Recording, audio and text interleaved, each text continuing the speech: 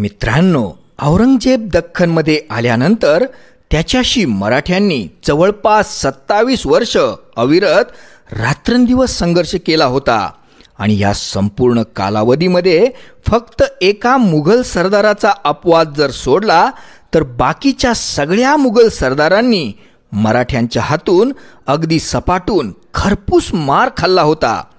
सगळ्याच इतिहासकारांचं एकमत आहे की मराठ्यांसाठी महाराष्ट्रासाठी सगळ्यात घातक प्रचंड बुद्धिमान आणि पराक्रमी असा मुघलांचा सरदार होता तो म्हणजे झुल्फिकार खान इत्तिकात खान नुसरत जंग. यानं अशी काही भयंकर व्यूहरचना केली होती रायगडला असा काही घेराव घालून बेमालूम डाव खेळले होते की शेवटी नायलाजानं महाराणी येसूबाईंना युवराज शाहूंसोबत मुघलांच्या ताब्यात जावं लागलं होतं. रायगडाला जुल्पिकार खानाच्या हातात सोपवावं लागलं होतं. मराठ्यांचं जेवढं जास्त नुकसान या एकाच मुघल सरदारानं केलं होतं तेवढं कुणीच केलं नव्हतं. तुम्हाला हे ऐकून आश्चर्य वाटेल की मराठ्यांनी या संपूर्ण युद्धाच्या कालावधीमध्ये झुल्फिकार खानाशी सामना शक्यतो टाळण्याचाच प्रयत्न केला. मराठ्यांनी केवळ दोन वेळा अटीतटीनं अगदी नायलाज झाला म्हणून या झुल्फिकार खानासोबत समोरासमोर युद्ध केलं होतं. जेव्हा झुल्फिकार खान महाराष्ट्रात होता तेव्हा मराठ्यांनी उत्तर भारत आणि दक्षिणेत धुमाकूळ घातला होता. आणि जेव्हा झुल्फिकार खान जिंजीकडं दक्षिणेकडे गेला होता तेव्हा मराठ्यांनी सगळ्या दख्खनमध्ये दुडगूस घातला होता. झुल्फिकार खान म्हणजे औरंगजेबासाठी एक हुकमी एक्का होता. आणि मराठ्यांचा लष्करी दृष्ट्या सगळ्यात खतरनाक दुश्मन होता. पण मित्रांनो राजकारण मोठं विचित्र असतं. लष्करीदृष्ट्या मराठ्यांचा सर्वात मोठा शत्रू असणारा हा जुल्फिकार खान मात्र राजकीय दृष्ट्या मराठ्यांचा सर्वात जवळचा आणि सगळ्यात विश्वासू मित्र होता. आणि यात छत्रपती राजाराम महाराजांचं अत्यंत प्रगल्भ असं राजकारण दिसून येतं. हा झुल्फिकार खान हा एक अत्यंत दिलदार आणि दिल्या शब्दाला तंतोतंत जागणारा शत्रू होता. तुम्हाला हे ऐकून आश्चर्य वाटेल की झुल्फिकार खान इत्तिकात खान नुसरत जंग यापैकी त्याचं खरं नाव एकही नाही. या सगळ्या त्याला औरंगजेबानं खुश होऊन दिलेल्या पदव्या आहेत. याचं खरं नाव होतं मुहम्मद इस्माईल. आणि याचं वय फारसं काही जास्त नव्हतं. त्याचा जन्मही संभाजी महाराजांच्या जन्मसाली म्हणजे सोळाशे सत्तावन्न साली झाला होता. या इत्तिकात खानाचा बाप होता असद खान आणि आईचं नाव होतं मेहरुन्निसा बेगम. हा मुघलांच्या राजघराण्यासोबत अनेक नात्यांनी जोडला गेलेला होता. मुघलांच्या राजघराण्याशी निगडीत होता. याचा बाप असद खान हा मुघल साम्राज्याच्या मुख्य वजिरांपैकी एक होता. याशिवाय या जुल्पिकार खानाचा सासरा होता औरंगजेबाचा सख्खा मामा. तोच तो बोट तुटका शाहिस्ते खान. छत्रपती संभाजी महाराजांच्या काळात सगळ्याच ठिकाणी मोठे मोठे नामांकित मुघल सरदार अगदी सपाटून थोबाड फुटेपर्यंत मार खात होते. मराठ्यांनी दिलेल्या फटक्यांच्या निशाण्या मुघलांच्या छातीवर उमटत नव्हत्या तर पाठींवर आणि पार्श्वभागांवर कायमच्या छापल्या जात होत्या. त्या काळात संभाजी राजांच्याच वयाचा हा मुघल सरदार मोहम्मद इस्माईल मराठ्यांशी अगदी शर्थीनं प्रामाणिकपणानं आणि बुद्धिमत्तेनं लढत होता. त्यामुळं औरंगजेब याच्यावर अगदी खुश होता. छत्रपती संभाजी राजांच्या दुर्दैवी कैदेनंतर औरंगजेबानं मोहम्मद इस्माईललाच इत्तिकात खान ही पदवी बहाल केली आणि रायगडाला वेढा घालायला पाठवलं. इत्तिकात या अरबी शब्दाचा अर्थ होतो उदार मोठ्या हृदयाचा.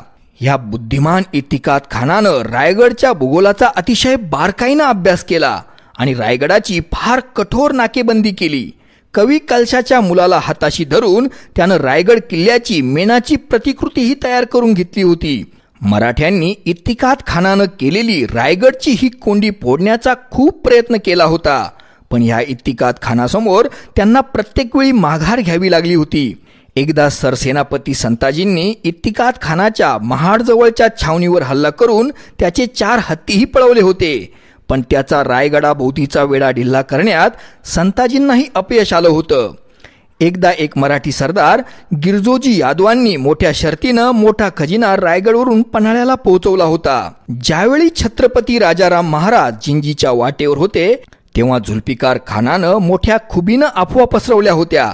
आणि त्यामुळंच हवालदिल होऊन महाराणी येसुबाईंनी आपल्याला आणि शाहू राजांना मुघलांद्वारे सन्मानानं वागण्यात यावं या अटीवर रायगड सुपूर्त करण्याचा निर्णय सगळ्या कारभाऱ्यांशी चर्चा मसलत करून मग घेतला होता.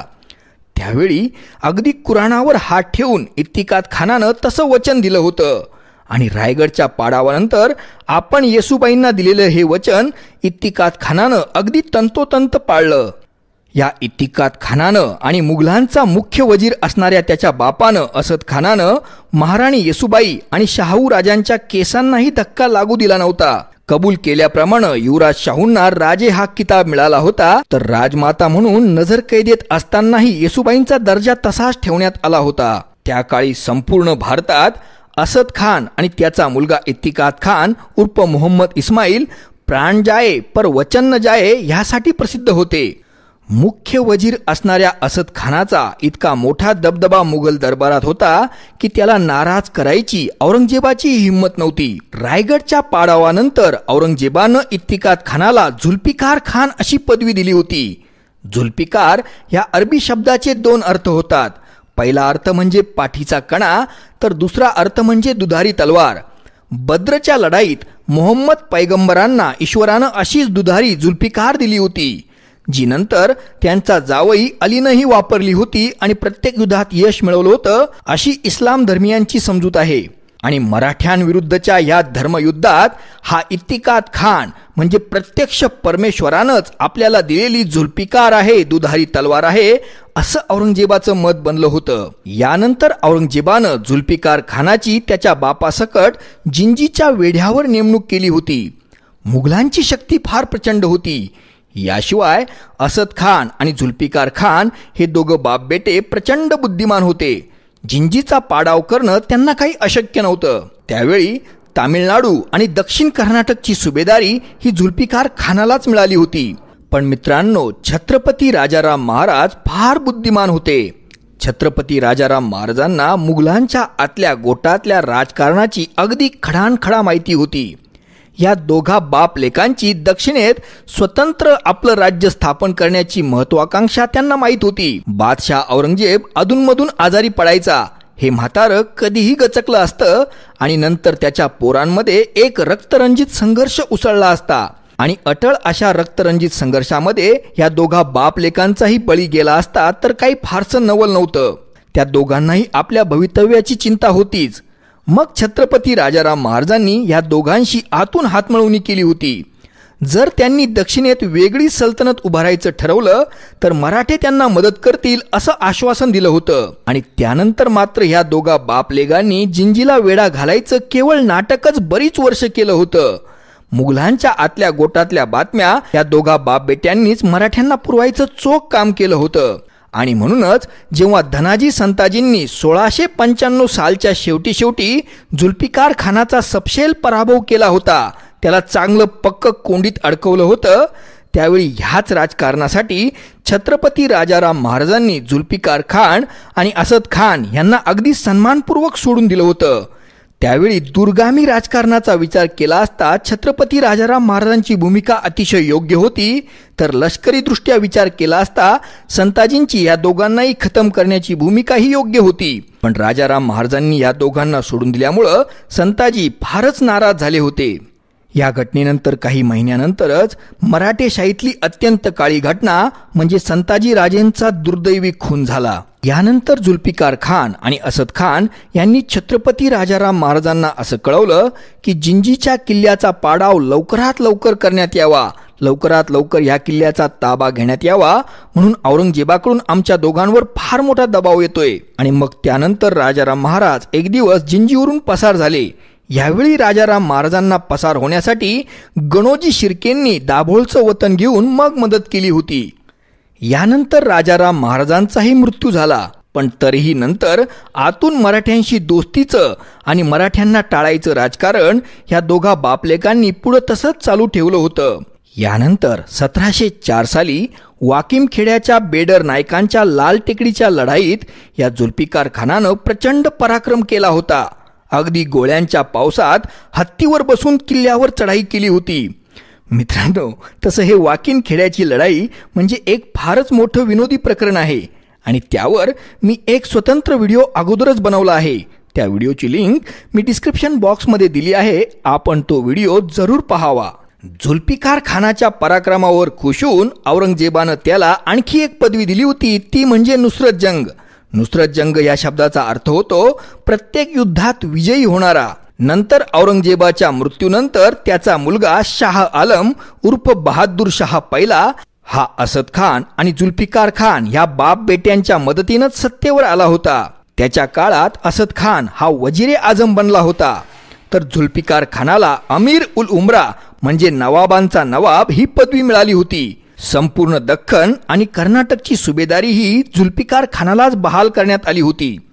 मराठ्यांमध्ये अंतर्गत दुफळी पाडण्यासाठी युवराज शाहूराजेंना सोडून देण्याची मूळ कल्पनाही ह्या दोघा बाप बेट्यांचीच होती. नंतर सतराशे बारा साली बहादूर शहा पहिला मेला आणि ह्या दोघा बाप बेट्यांनी जहांदर शहा नावाच्या त्याच्या एका नालायक मुलाला गादीवर नाममात्र बसवलं. स्वतः जुल्फिकार खान त्यावेळी मुघल साम्राज्याचा वजिरे आजम बनला. आणि सगळ्या भारताचा कारभार स्वतःच हाकू लागला. बादशाह जहानदर शहा म्हणजे वजीरे आजम जुल्फिकार खानाच्या हातातलं केवळ एक नाममात्र पावलं होतं. असद खान आणि जुल्फिकार खान ह्या बाप बेट्यांचे दरबारी शत्रू होते सय्यद बंधू. या सय्यद बंधूंनी मग जहानदर शहाच्या पुतण्याला फारुख सियारला चिथावणी दिली आणि बगावत केली. साल सतराशे तेराच्या जानेवारी महिन्यात आग्र्याजवळ झालेल्या वारसा हक्काच्या लढाईत जुल्फिकार खानाचा आणि जहांदर शहाचा पराभव झाला. बादशाह जहांदर शाह पळून दिल्लीला गेला पण नंतर त्याला कैद करण्यात आलं. यावेळी जुल्फिकार खान हा पुन्हा एकदा मोठं सैन्य जमून पुन्हा जोरदार लढाईच्या तयारीत होता. मराठ्यांच्या मदतीनं फारुख सियारची सत्ता उलटवायचा त्याचा इरादा होता. पण यावेळी त्याचा बाप असद खानानं त्याला रोखलं. तू नव्या बादशहाची म्हणजे फारुख सियारची भेट घेऊन त्याच्याशी शांततेचा समझोता कर असा असद खानानं आपल्या मुलाला सल्ला दिला. आणि मग स्वतःच्या इच्छेविरुद्ध जुल्फिकार खानानं आपल्या बापाचा सल्ला मानला आणि तो फारुख सियारला भेटायला गेला. वास्तविकत नव्या बादशहानं फारुख सियारनं अगदी पवित्र कुराणाची शपथ घेऊन तुला कुठलाही अपाय करणार नाही इजा करणार नाही तुम्हाला निशंक भेटायला ये असा जुल्फिकार खानाला निरोप दिला होता. पण जेव्हा जुल्फिकार खान फारुख सियारला भेटायला गेला तेव्हा आपण दिलेलं वचन साप मोडून त्यानं त्याला धोक्यानं कैद केलं. नंतर फेब्रुवारी सतराशे तेराच्या महिन्यात पदच्युत बादशहा जहांदर शहा आणि त्याचा पदच्युत वजीरे आजम जुल्फिकार खान या दोघांचेही गळे आवळून त्यांना ठार मारण्यात आलं. या दोघांचीही मुंडकी धडावेगळी करून त्यांना भाल्यांच्या टोकांवर टांगून सगळ्या दिल्लीमध्ये नाचवण्यात आलं. आणि एवढ्यावरच हे थांबलं नाही तर नंतर या दोघांच्याही प्रेतांना उलट टांगून त्यांची मिरवणूक पूर्ण शहरातून काढण्यात आली. आणि फारुख श्रीहारचा क्रूरपणा असा की त्यानं यावेळी म्हाताऱ्या असद खानाला बळजबरीनं त्याच्या लाडक्या कर्तबगार मुलाच्या प्रेताची विटंबना उघड्या डोळ्यांनी पाहायला भाग पाडलं होतं. त्यावेळी हा असह्य म्हातारा असद खान अगदी रडत रडत म्हणाला होता की आज इब्राहिमनं इस्माईलचा बळी दिला. मित्रांनो गेल्या अडीच वर्षांपासून आपण माझ्या चॅनलवर अगदी भरभरून प्रेम केलं त्याबद्दल मी आपला हृदयापासून आभारी आहे. जर अजूनही कुणी माझ्या चॅनलला सबस्क्राईब केलं नसेल तर ते त्यांनी करावं अशी नम्र विनंती. यासोबतच आपल्याला प्रेमाचं आवाहन आहे की आपण मला मदत करण्यासाठी सहाय्य करण्यासाठी माझ्या चॅनलची मेंबरशिप जॉईन करावी. माझ्या व्हिडिओला लाईक करा कॉमेंट करा आणि शेअर सुद्धा करा. नोटिफिकेशन मिळवण्यासाठी बेल आयकॉन प्रेस करा. आपलं माझ्या चॅनलवर असणारं प्रेम असंच दिवसेंदिवस वृद्धिंगत होत राहो आणि माझ्याकडून नवनवीन अतिशय माहितीपूर्ण सुंदर अशा व्हिडिओंची निर्मिती होत राहावी अशीच ईश्वरचरणी प्रार्थना.